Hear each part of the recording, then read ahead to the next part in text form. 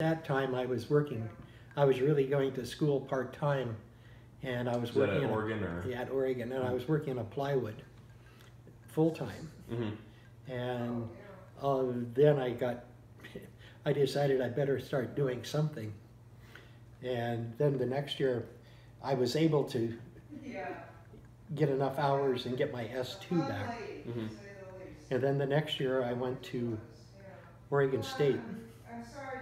And then at Oregon State, I had four points. Mm-hmm.